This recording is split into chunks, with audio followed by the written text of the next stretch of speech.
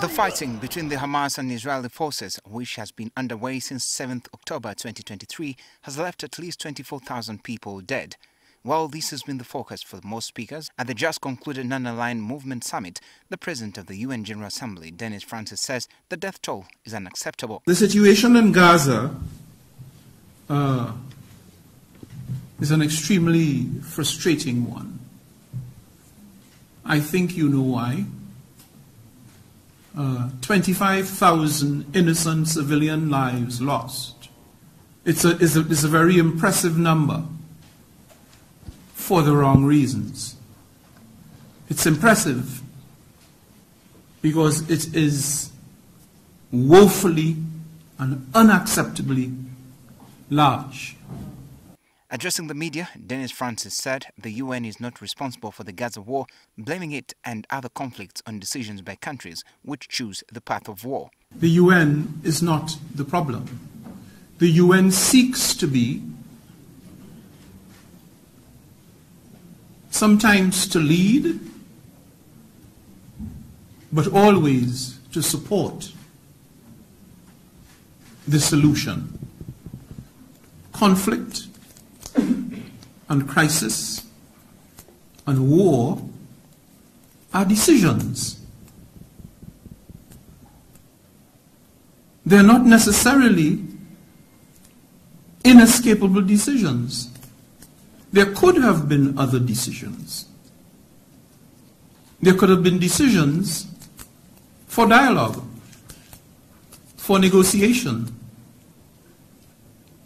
in several rounds. That did not happen. The point I'm making is war and peace are decisions that countries make for reasons best known to themselves. The UN General Assembly President expressed worry that a number of African countries are embroiled in conflict instead of moving towards development. It's very worrying, in fact, that Africa has again become uh, in the last um, five, eight years, an area of conflict, a zone of conflict.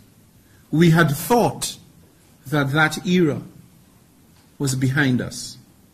We had thought that coups in Africa was behind us. Uh, that, however, is not the case. Noted that the cost of conflict is huge in terms of loss of human lives and undermines development, maintaining that the best way to resolve conflict is dialogue and negotiations. The UN is committed to supporting African governments uh, and uh, working with the regional authorities in Africa, such as the African Union and others, um, to address these conflicts because we are aware that these conflicts provide opportunities for opportunistic operatives to pounce on them, complicate them, with further implications for peace and stability across the, the, the region. The President of the UN General Assembly has also lauded Uganda for its open door policy on refugees. Uganda is currently home to over 1.5 million refugees. Benjamin Jumbe, NTV Weekend Edition.